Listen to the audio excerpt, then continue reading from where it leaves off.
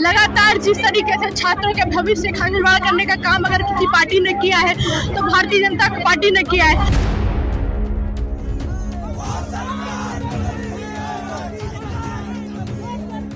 हमारी मांग है कि धर्मेंद्र जी इस्तीफा दें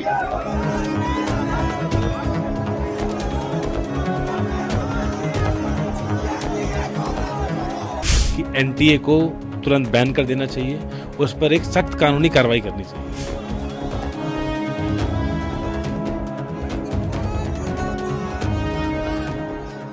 ऐसा क्या उनकी मजबूरी है कि वो एनटीए को बचाने का काम कर रहे हैं?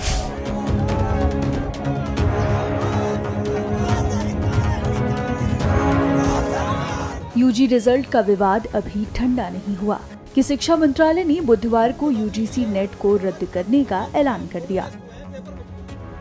मामले की जाँच सीबीआई को सौंपी गई है। यूजीसी नेट अब नए सिरे से आयोजित कराया जाएगा। शिक्षा मंत्रालय ने ये फैसला गृह मंत्रालय से परीक्षा में धांधली के इनपुट मिलने के बाद लिया है। हालाँकि इसको लेकर छात्रों में रोष है। इस बीच एनएसयूआई के अध्यक्ष वरुण चौधरी ने क्या कुछ कहा, सुनिए। 24 लाख छात्र आप देखेंगे, कितने दिनों से इस तड़पती धूप में आप देखेंगे, गर्मी में। अपनी गुहार लगा रहे हैं। साथ में एनएसवाई के साथी भी गुहार लगा रहे थे न्याय की। और जिस तरीके से नेट का पेपर, आज मैंने सुबह प्रेस के माध्यम से बोला था कि एनटीए को तुरंत बैन कर देना चाहिए। मैं फिर वही मांग करता हूँ कि एनटीए को तुरंत बैन कर देना चाहिए उस पर एक सख्त कानूनी कार्रवाई करनी चाहिए। साथ के साथ मेरी अब प्रधानमंत्री जी से गुहार है कि आपके सामने अब दो चीज़ें हैं।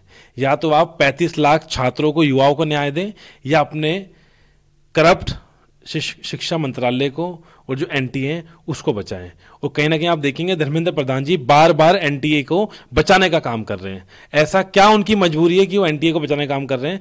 कहीं ना कहीं मुझे लगता है अब धर्मेंद्र प्रधान जी ही जो पेपर लीक की धांधली का ये जो व्यापार शुरू करा एनटीए ने, इसमें खुद शामिल है। हमने 24 तारीख को तो संसद घिराव करा था, उसमें अब हम नेट के जो हमारे विद्यार्थी थे, उनको भी हम अपील करेंगे कि वो आएँ। और साथ के साथ कल भी हम प्रदर्शन करेंगे। 21 तारीख को देश भर की जो यूनिवर्सिटीज़ हैं हमारी, जो कैंपसेज हैं पूरे देश में लगभग, हमने 300 सौ कैंपसेज करें आइडेंटिफाई उन 300 सौ कैंपसेज में प्रोटेस्ट होगा। और 24 तारीख को, जो पहला दिन है संसद का, जब वहाँ शपथ ग्रहण भी चलेगा, नए सांसदों का, उस दिन हम छात्र संसद घेराव करेंगे, जिसमें हम नीट के छात्रों की न्याय की गुहार लगाएँगे और नेट की जो धांधली हुई है। और आप देखेंगे, बहुत कॉमन पैटर्न बन गया है।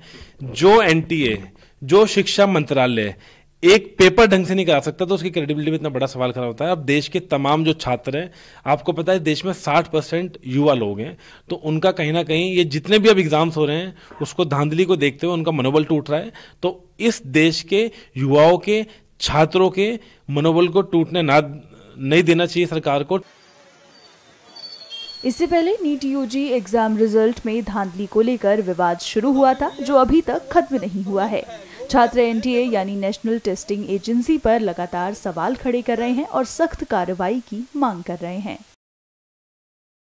हमसे जुड़े रहने के लिए हमारे YouTube चैनल को सब्सक्राइब करें और नई वीडियो की नोटिफिकेशन के लिए बेल आइकॉन को दबाएँ।